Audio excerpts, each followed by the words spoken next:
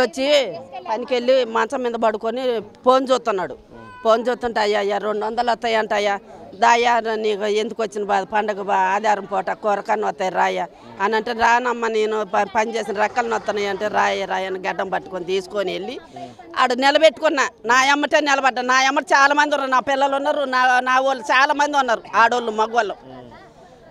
ఆ రోజు ఇక్కడ ఏం జరగలే.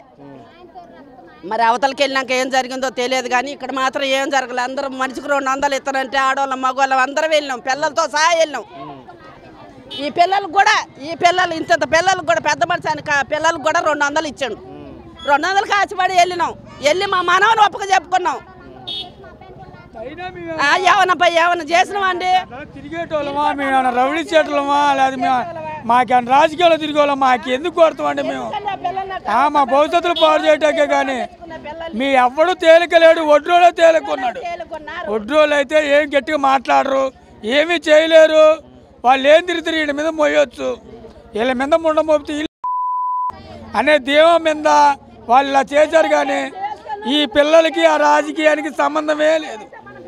వాళ్ళు కొట్టినట్టు కూడా వాళ్ళు కొట్టే మనుషులా ఇదంతా కావాలని కుట్ర చేసింది.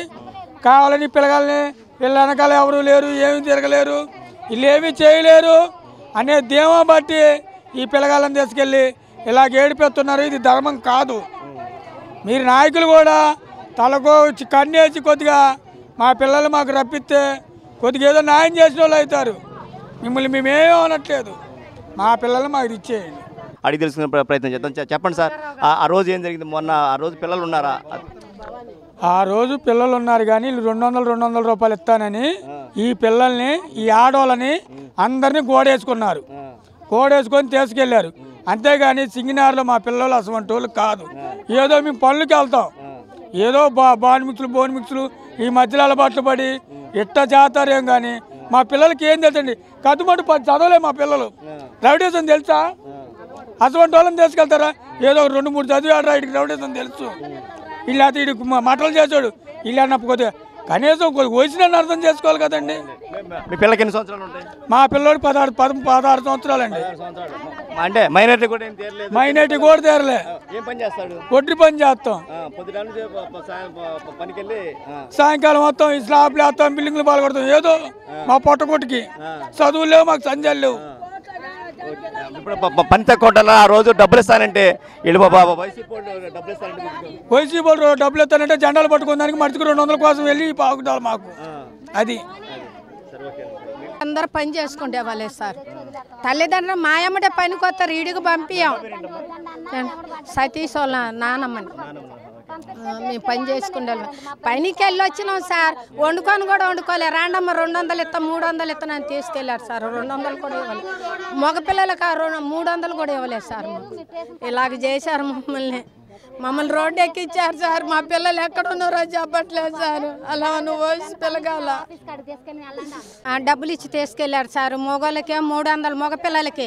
ఆడవాళ్ళకి రెండు వందలు సార్. జెండాలు ఇచ్చి తీసుకెళ్ళారు. ఆ పిల్లలు అందరు ఇప్పుడు వెళ్ళిన పిల్లలు పదిహేను పద్నాలుగు సంవత్సరాల మించి లేవు సార్. మేము సింగినారంలో పుట్టి పెరిగి ఇంత వయసు వచ్చింది మాకు. రెండు వందలు కాసిపడి మా పిల్లల్ని పట్టించుకున్నాను సార్. తెల్లారి గంటలు ఏమన్నారంటే ఏదో బీర్ చేసి చేస్తున్నాం చెకింగ్ చేస్తున్నాం ఓట్లు కాదా? చెకింగ్ చేస్తున్నాం అంటే వాళ్ళకి ఓట్లు లేవుగా సార్ అన్నాం. లేకపోయినా పర్వాలేదు. ఆయన రెండు వందలకి ఆశపడి మేము వెళ్ళి కుడి లేదు పాడు లేదు. ఆ రెండు వందలు కూడా ఇవ్వలేదు సార్ మాకు. రెండు వందలు కూడా ఇలా ఆ వంతెన దిగిన కానీ కరెంటే లేదు సార్. మా ఆశ దగ్గర కూడా చీకట్ల కింద పడిపోయాం. రెండు వందలు కూడా మాకు చేతికి ముట్టలే. మేము వెళ్ళిపోయాం. రెండు వందలు కాసిపడి వెళ్ళాం. కానీ ఇవ్వలేదు సార్. మమ్మల్ని ఇంత కాడికి చేస్తారా? మా పిల్లలు పొద్దున్న లేస్తే మా అమ్మడి పనికి వస్తారు సార్. మేము పని చేసుకునే వాళ్ళం దొంగతనాలు చేసేవాళ్ళం కదా మేము పని చేసుకునే వాళ్ళం మా పిల్లల్ని ఎక్కడ పెట్టారో మాకు చెప్పట్లేదు. సిగరెట్లు అని అంటారా? మేము చెకింగ్ చేసి పంపిస్తాం అమ్మ అన్నారు. ఆ రెండు వందలు పారు మేము ఆ రెండు వందలు కూడా తీసుకోలేదు చీకట్లో కింద పడిపోయి లేసాం. అది అది సార్. చూపెడతలేదు సార్. మాకు ఆ అబ్బాయి ఎవరో తెలియదు అన్నారు సార్ మాకు. ఆ రెండు వందలు ఇంత కాడికి చేసినాయి సార్ మమ్మల్ని.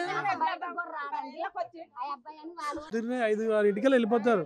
సాయంత్రం ఏడింటికల్ ఇక్కడే ఉంటారు ఎక్కడికి వెళ్ళరు. ఇదేంటంటే ఆ రోజు జెండాలు ఈ పట్టుకోవడం మగవాళ్ళకి మూడు వందలు ఆడవాళ్ళకి రెండు వందలు ఇచ్చి తీసుకెళ్ళారు ఇటు. అంతే అదే దాని తర్వాత ఏం జరిగిందో మనకు తెలియదు. ఇంటింటికి వచ్చి రాండి ఇట డబ్బులు ఇస్తాం అంటేనే పోయినరండి. డబ్బులు ఇస్తానంటే ఎవరికన్నా ఆశే కండి. అక్కడే ఆర్చికాడ నిలబడాలా? దండ పట్టుకొని ఇంక ఎటు తిరిగేది లేదన్నారు. ఆడే నిలబడరు మా పిల్లగాళ్ళు ఆయన. మా పిల్లగాళ్ళు వచ్చి ఆడ కూడా జెండా కూడా పట్టుకోలేదు దుర్గాప్రసాద్ అన్నాడు. ఇంట్లోనే ఉన్నాడు పనికి పోయి ఆ రోజు పనికి కూడా పోయి ఇంక రాను కూడా రాలే మేము. వాని కూడా తీసుకెళ్ళిండ్రండి. వానికి వాళ్ళ అమ్మకు ఒక్కడే కొడుకు. వాళ్ళు చూడు ఇంతవరకు అల్లి ఆడుతుర్రు. ఆ? ఏందండి? వాడు ఆడున్నది తెలవదు. ఇప్పుడు తెలవాలిగా అండి? ఆడున్నది తెలవాలిగా? ఇప్పుడు పలానా స్టేషన్లు ఉండ్రు మీ బాబుని చూసుకున్నది కూడా తెలవాలిగా. ఎక్కడ లేదు. ఇక్కడ ఇక్కడ ఇక్కడ జరగాలండి. ఇప్పుడు కొడితే గిడితే ఇక్కడ కొట్టాలి అంత మందిలో ఎక్కడో ఇక్కడ యువగాంధీ స్కూల్ కాడ మా పిల్లలు వెళ్ళి అక్కడ కొట్టలేదని అక్కడ ఎందుకు కొడతారు? ఒడ్డు కూడా పేరు వేశారు బాగానే ఉంది. ఇక్కడ జరిగింది కాదు కదా విషయం.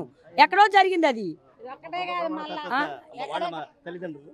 ఆ దుర్గారావు ప్రసాద్ అక్కడే తల్లి ఆ తల్లి అక్కడ ఉంది. పదహారు సంవత్సరాల పిల్ల అంతే. పదిహేడు పదహారు. ఇంకా అంత మించి ఉండవు. మొత్తం? మొత్తం ఒక నా ఐదుగురు ఆరుగురు తీసుకెళ్ళారంట ఇంకా తీసుకెళ్ళి కాంచి పంప తెల్లారి గంటల కాంచి వాళ్ళు అన్నం నీళ్ళు లేకుండా ఉన్నారు. డ్యూటీ పోయే టయానికి మేము డ్యూటీ పోయే టయానికి తీసుకెళ్ళిండ్రండి. పంపులు వచ్చే టయానికి తీసుకుపోయి అమ్మటే పంపుతాం అమ్మా అన్నారు. మరి ఇంతవరకు పంపలే. వాళ్ళు ఆడున్నారో తెలియదు ఇంకా ఇక్- ఇక్కడ ఉన్నారు ఈ- స్టేషన్లు ఉన్నారు ఆ స్టేషన్లు ఉన్నారు అని తెలవట్లే. పిల్లలు ఏం పని చేస్తారు మా పని నేను ఒడ్ర పని. చదువు లేదేమి లేదండి మా పని. టెన్త్ వరకు చదివిండ్రు. అంతే. పనికి పోవటమా రావటమా ఇంట్లో ఉండటమా?